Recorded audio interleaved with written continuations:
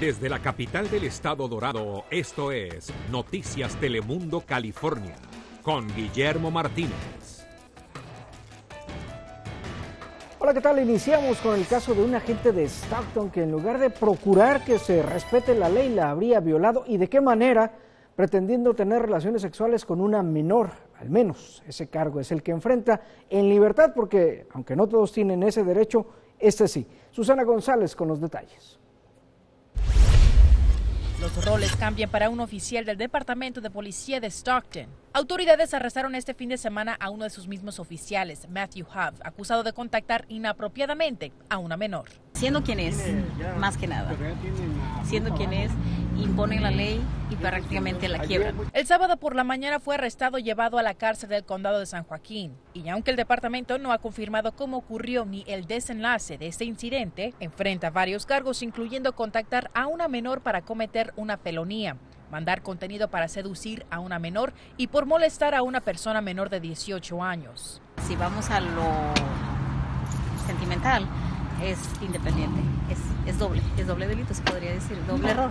Él es el que tenía, de, de, tuvo haber tenido el razonamiento y la inteligencia de haber dejado ese, ese problema a un lado y hacerlo a un lado, ahora que responda por lo que hizo. Según reportes públicos, su padre y hermano trabajan dentro de ese departamento, pero por otra parte, hubo varias reacciones dentro de la comunidad y en su mayoría contradictorias, pero hay algunos que dicen no somos nadie para juzgar. Como todos, todos somos seres humanos, como yo lo puedo cometer, tú misma. Entonces, ¿qué es lo que tiene que hacer uno? Ponerse a pensar más y seguir adelante. Además, en un comunicado, el Departamento de Policía agrega, estas acciones están fuera de los valores y profesionalismo del Departamento de Policía de Stockton. La responsabilidad es crucial para mantener la confianza de la comunidad. Huff, quien ha trabajado con ese departamento por los últimos cinco años, fue dejado libre bajo el pago de una fianza de 253 mil dólares ese mismo sábado y con permiso administrativo de ausencia mientras continúan la investigación.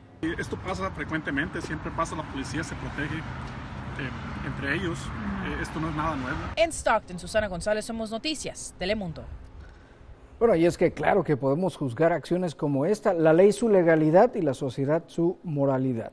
Bueno, y un profesor, un profesor de primaria, el de San Francisco, también la está enfrentando, este por presuntamente poner la vida de uno de sus alumnos en peligro. Lo acusan de haberlo colgado de un segundo piso, pero como nos dice Melissa Hernández, el caso tiene opiniones encontradas. Él no tiene por qué agachar su cara porque es una persona decente, humilde, porque viene de raíces de buenas enseñanzas. Andrés Tobar se declaró no culpable ante los cargos que enfrenta por supuestamente haber puesto la vida de uno de sus alumnos en peligro. Esto presuntamente al haberlo colgado del balcón del segundo piso de la escuela primaria Marshall de San Francisco. Vine a apoyarlo porque él es incapaz de hacer de todo lo que lo están acusando. Durante la audiencia, la fiscalía pidió una orden de alejamiento que le impide a Tobar acercarse a la víctima y también le prohíbe el ingreso a la escuela. Sin embargo, su abogado cree que la situación se ha hecho más grande de lo que realmente es. This is a horrible situation, I think overreaction. Es una situación horrible y creo que están exagerando. Él ha sido profesor de preescolar por más de 21 años y todo el mundo lo quiere y por eso están aquí.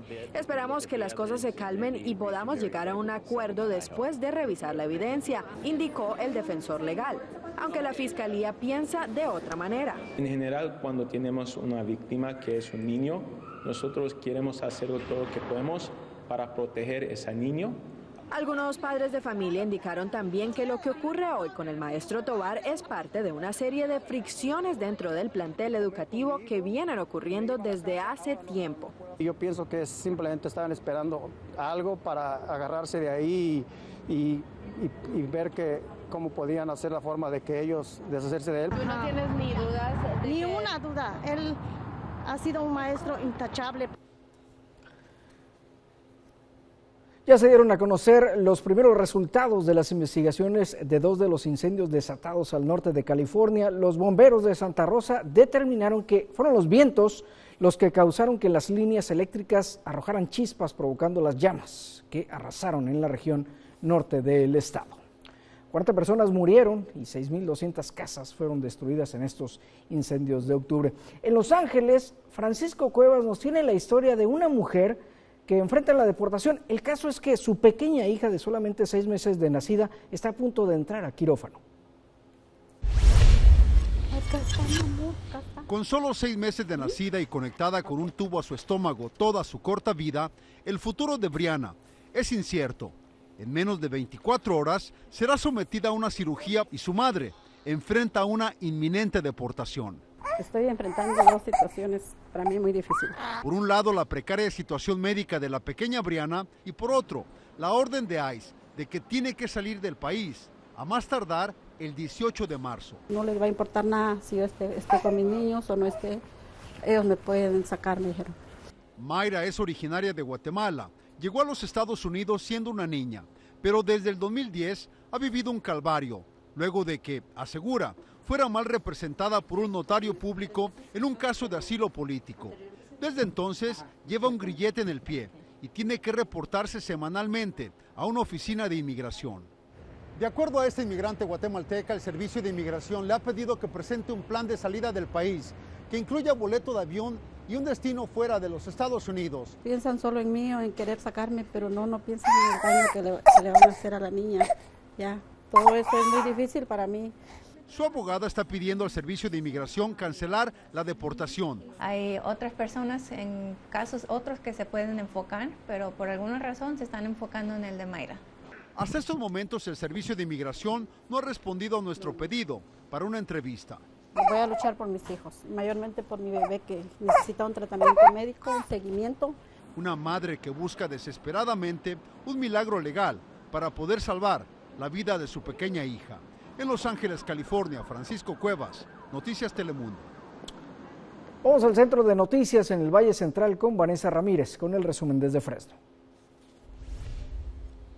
Muchísimas gracias, Guillermo. Buenas noches desde Fresno. Vamos a las noticias más importantes del día. Escuché esto increíble, lo que le pasó a una madre de Fresno esta mañana cuando luego de dejar a su hija en casa de sus padres para que la cuidaran, encontrara a una mujer en su vehículo. Cuando volvió a este, la mujer estaba tratando de robárselo. La víctima de inmediato sostuvo una pelea con la presunta ladrona y fue cuando le quitó la chamarra que llevaba puesta y dentro de esta su celular, luego de lo cual la sospechosa se dio a la fuga, pero sin vehículo. La mujer no dejó su auto encendido, pero sí abierto mientras dejaba a su hija.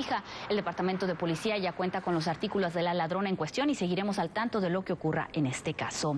Mientras tanto, en la ciudad de Madera, autoridades piden la ayuda del público para dar e identificar a tres personas que vandalizaron un vehículo la tarde de este domingo en la cuadra 200 de la avenida Yosemite. En el video se puede ver que dos hombres llegan y comienzan a dañar el vehículo en cuestión, mientras que una mujer parece que graba todo el incidente. El motivo de este es desconocido y el departamento aseveró que no tolerarán un acto tan desafiante de falta de respeto y piden que si usted reconoce a los involucrados, los denuncie llamando a la policía. Ayer fue día de supertazón. Las Águilas de Filadelfia resultaron victoriosas del encuentro que mantuvo muchos al filo de sus asientos y las celebraciones no han parado. Justamente un oriundo del Valle será parte de esta. Se trata de Michael Kendricks, defensa de las Águilas, quien es un graduado de la preparatoria Hoover. Sus ex entrenadores lo vieron jugar este domingo desde Fresno y nos contaron que nunca dudaron de su talento y su potencial. Ken Kendricks además sostiene junto con su hermano un campamento de fútbol para niños totalmente gratis aquí en Fresno, así que es un orgullo fuera y dentro de la cancha. Así lo más destacado desde Fresno es todo de mi parte. Ahora continuamos con más. Asambleístas de California buscan mitigar el abuso de medicamentos derivados del opio a través de una legislación que limitaría las prescripciones de opioides a no más de tres días de tratamiento. Los opioides son comúnmente utilizados como analgésicos. En el 2016 estos, los opioides, mataron a 64 mil estadounidenses. Vamos a la frontera sur, donde el deslave de cerros, lamentablemente muy común en Tijuana, ha dejado a varias familias sin vivienda. En segundos el concreto de las calles se partió en pedazos y con él todo a su paso, incluidas 89 casas que con el movimiento de la tierra se derrumbaron, dejando a decenas de familias sin patrimonio en la colonia Lomas del Rubí en Tijuana. Destrozados, estamos en la calle.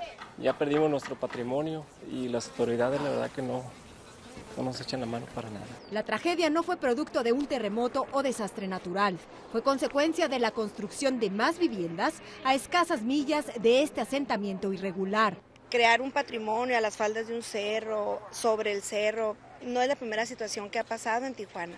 Hasta ahora la constructora suspendió la obra y aún no se ha acercado a los vecinos para ver si responderá por los daños. El alcalde informó que el peritaje se realizará en los próximos días y por ahora evitarán los saqueos. Se les ha invitado a desalojar la zona y se, se abrió un albergue. En la Ciudad de México y otros municipios del país es común encontrar este tipo de asentamientos irregulares en laderas de los cerros y barrancas, siendo un peligro latente para sus pobladores. En México hay 12 millones de asentamientos irregulares. Esta colonia de la capital mexicana es ejemplo de ello. Vecinos como Eduardo llevan 40 años viviendo aquí. Esto eran minas de arena y de grava, aquí toda esta zona. Si bien puede ser cuestión de tiempo que jamás ocurra aquí un deslave o derrumbe, las familias de Lomas del Rubí deberán sobreponerse a esta tragedia que jamás creyeron le sucedería. En México, Isa Osorio, Noticias Telemundo.